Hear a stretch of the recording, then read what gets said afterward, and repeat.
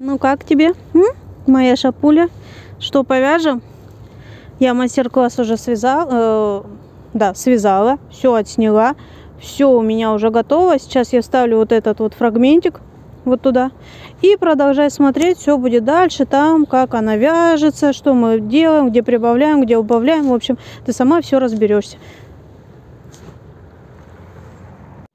Привет, меня зовут Маша. Как и обещала, сегодня мы с тобой свяжем вот такую шапочку лопата. Единственное ее отличие от всех, что в интернете, а они там в очень большом количестве, это то, что она вяжется сверху без каких-либо расчетов. То есть тебе здесь не нужно будет вообще ничего считать. И сейчас объясню почему. Мы с тобой методом Magic э, Джуди Бейкер наберем макушечку, провяжем. Когда мы с тобой отвяжем небольшой участок, ну, грубо говоря, примерно вот так, мы просто приложим сантиметр, посчитаем, сколько у нас примерно получается петель в этом участке, умножим на свою голову и посчитаем, сколько нам еще нужно добрать. Единственное, смотри, мы с тобой будем методом э, Джудит набирать. Первый ряд мы с тобой провяжем полой резинкой, о чем я тебе чуть позже покажу. Дальше мы с тобой перейдем на резиночку 1 на 1 можно вязать гладью, можно 2 на 2, но только ты тогда посчитай, какие, какое количество тебе петель нужно будет. Можно лицевой гладью вообще без проблем. Вот, мы будем с тобой делать прибавки методом накидов в каждом ряду. И когда я уже буду подходить к завершению, да, то есть к вот этой части, чтобы немножечко сгладить угол, чтобы он не был такой вот прям, как домик не стоял, здесь я сделаю прибавки через ряд, буквально 3-4 ряда. Итак, давай погнали. Значит, смотри. Я буду вязать шапочку из вот такой пряжи Пуна от Drops. Это стопроцентная альпака. Но ее нужно обязательно покупать в офлайном магазине, потому что ее нужно щупать. У нее в зависимости от цвета она какая-то очень мягкая, а какая-то прям неприятная, колючая. Значит, смотри, у меня вот такой бежевый, это 0,2, он очень мягенький, хороший. Еще у меня дома есть 0,7, он тоже мягенький, хороший. Продавец нам, точнее производитель пряжи рекомендует спицы 4 миллиметра, но я буду вязать на трешке, потому что эта шапка, она, соответственно, должна быть, ну, как бы, более текстурная, держать форму и меньше продуваться. Значит, смотри, для того, чтобы связать шапочку 1 на 1, нам нужно с тобой набрать четное количество петель. Сейчас тебе объясню, почему четное. Значит, метод набора Джудит у меня более подробно разобран в носках, но на всякий случай напоминаю. Мы с тобой растягиваем ниточку, вставляем между спицами. вот это у нас с тобой получается первая петля. Теперь мы с тобой такими вращательными движениями с дальней, всегда дальнюю спицу накидываем на дальнюю нитку. Вот, то есть у нас здесь петля уже есть. Я вот этой спицей накидываю вот эту ниточку. Вот этой спицей накидываю вот эту ниточку. Так, сейчас чуть-чуть. Вот, все, у нас уже с тобой две пары петелек набраны. Вот. Теперь мы с тобой просто параллельно добираем. Соответственно, если у нас одинаковое количество петель, то начинаем с вот этой. Три, четыре, пять, шесть, семь, восемь, девять, десять, одиннадцать, двенадцать. Давай еще доберем тринадцать, четырнадцать. Значит, смотри, здесь количество петель абсолютно не важно. Так, не забудь, перекрестила. И вот этот коротенький хвостик наверх. Все, это у нас, как всегда, начало ряда. Вот это количество петель, вот чистые твои пожелания. Насколько ты хочешь увидеть широкую вот эту часть, столько ты набираешь петелек. Вот. То есть у нас вот мы набираем сейчас вот эту ширину. Хочешь вот такую, пожалуйста. Хочешь на три петли, ради бога. Это личный твой выбор. То есть сама формируешь свою шапку, она будет полностью твоего дизайна. Значит, смотри. Набрали петельки. Ой, как я хорошо набрала. Не протянуть. Альпака достаточно прочная. Ой, скользкая, поэтому я взяла Нет, ну все, я это не сниму уже. Не вытяну. Сейчас я посвободнее перенаберу. Иначе я даже вытянуть спицы не могу. Так, первая, вторая, третья, четвертая, шестая, седьмая, восьмая, девятая, десятая, одиннадцатая. Так, ну здесь меня хватило только на 12, ну ради бога, пускай будет 12. Все. Вот наши 12 петелек. Значит, у меня будет маленькая эта полосочка. Значит, здесь у нас какая особенность? Первую, первый ряд мы с тобой провязываем полурезинкой. Первую связали лицевой. Вторую сняли нитка перед работой. Лицевая нить перед работой. Лицевая нить перед работой.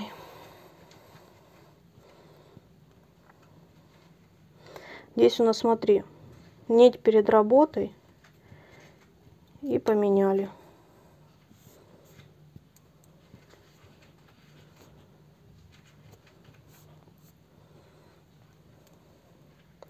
Значит, так мы снимали, значит, первую мы с тобой опять провязываем.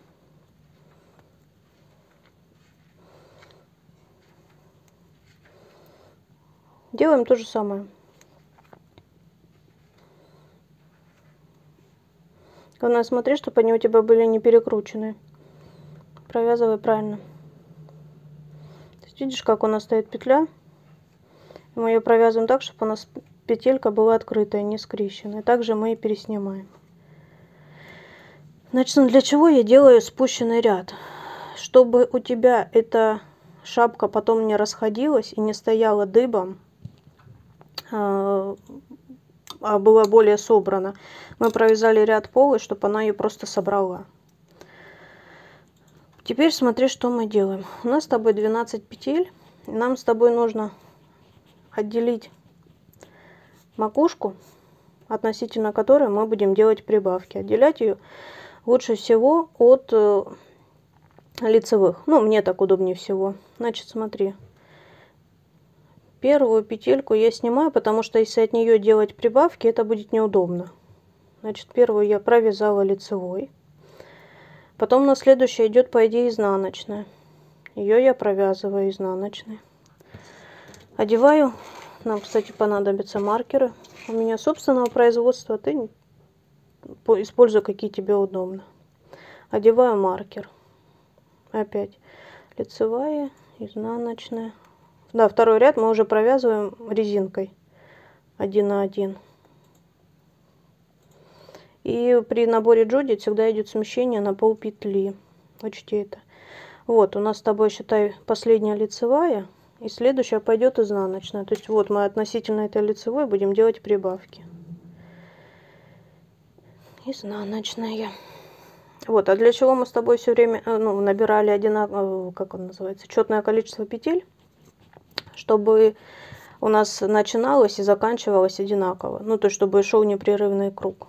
Здесь у нас, видишь, будет то же самое, что в начале прошлого ряда. Первая лицевая,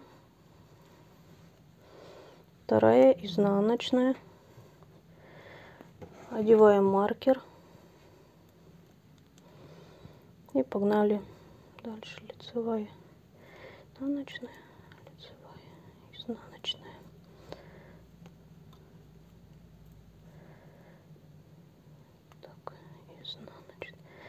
лицевая и последняя у нас изнаночная вот это у нас будет наша макушка то есть все мы свою макушку отсоединили.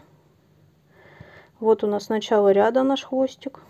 Мы с тобой макушечку сформировали. Все она у нас теперь будет аккуратненько никуда не будет расползаться будет хорошо держаться. А теперь погнали делать прибавки.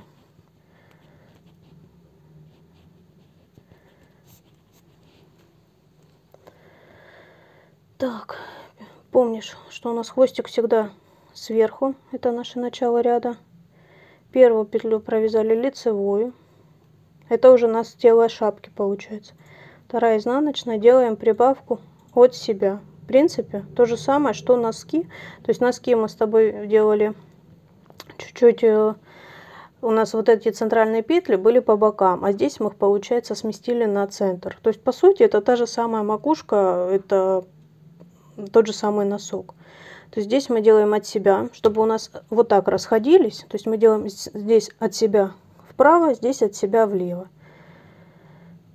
Делали прибавку, провязали лицевой. Ну, не лицевой, а резинкой, один на один. И смотри, такая особенность, ты наверняка это уже где-то слышал, но на всякий случай напоминаю.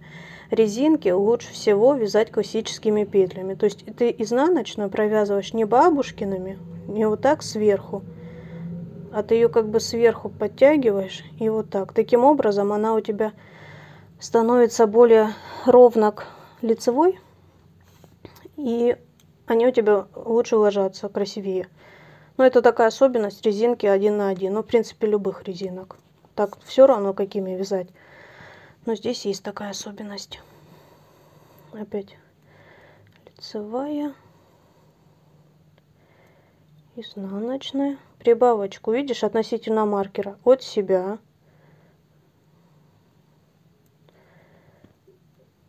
Дальше пошли. Так, а почему у меня здесь не провязанная петля?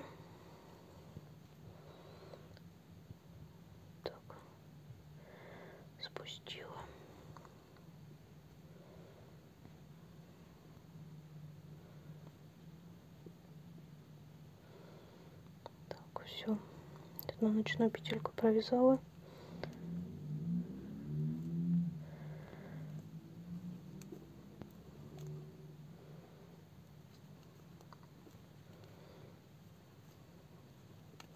Так дошли до следующего маркера. Вот я последнюю лицевую провязала.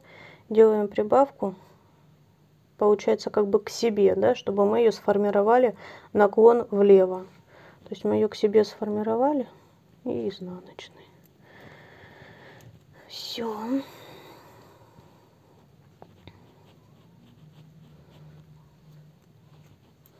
Да, синет, конечно, спицы хорошие, а учитывая, что вот эта альпака достаточно скользкая, поэтому и вяжу на синичках.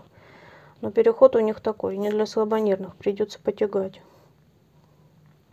Так, вот у нас начало ряда, наш хвостик. Первую мы провязали лицевой потом изнаночная. Потом по рисунку у нас с тобой идет лицевая. Мы ее провязываем скрещенной. Провязали скрещенной. И делаем опять прибавку от себя. Все, пошли на тело шапки. Просто резинкой один на один.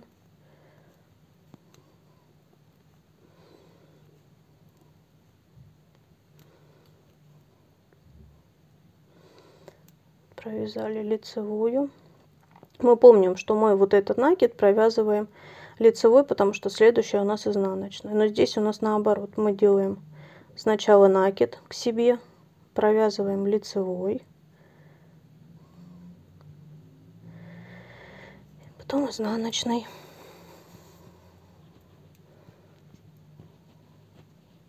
Первые ряды, конечно, чуть-чуть, ну, не то чтобы сложно, это не сложно, просто нужно быть более внимательной пока ты их формируешь. Потом вообще эта шапка вяжется спокойно за один вечер, носится отлично, выглядит шикарно, как бы, по-моему, шикарная шапочка получилась. Так, первая лицевая,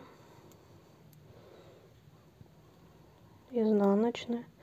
Накид мы с тобой формируем лицевой, скрещенной, как всегда. И сделали накид на следующую от себя. То есть мы с тобой в начале ряда делаем всегда накиды от себя, в конце ряда к себе. То есть мы просто поменяли местами от носков. Так, довязываем ряд до конца.